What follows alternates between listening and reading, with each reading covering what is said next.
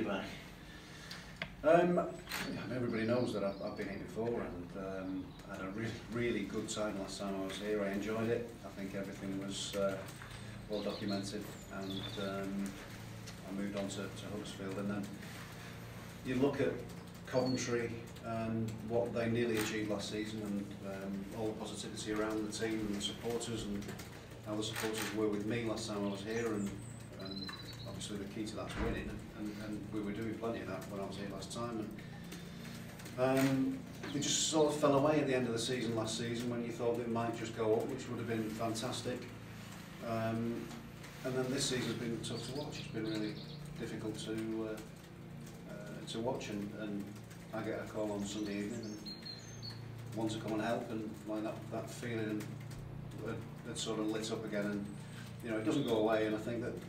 you know given the opportunity to come back was was too great to, to, to resist and I think you know then you look at the, the whole picture and what's been happening over the last few years and and how difficult it, it, it's been you know for supporters and for everybody connected with the club and I think that that was something that motivated me to want to try and help to turn that around. Now, you know, we've got to have we've got to have unity, we've got to have trust, and these are all things that come with over a period of time. But we want to try and foster that and make sure that the relationships that that are key relationships are um, are better, and that's between the club, the supporters, the players. You know, everybody connected with it. Um, first and foremost, you know, and I'm talking sort of in the wider political sense which again I don't really want to get too involved with because that's for other people but I came in on the basis that we can move this forward and we have to we have to work together to move that forward. I need the tools to do the job. You know you can't do your job unless you've got your tools like I was saying before if you haven't got your um, mobile phone microphone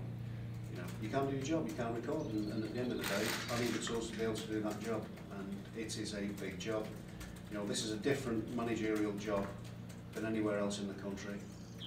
basically because of the political side of what's happening, but we need to find a way out. We need to find a way out for, for the football club and what's best for it.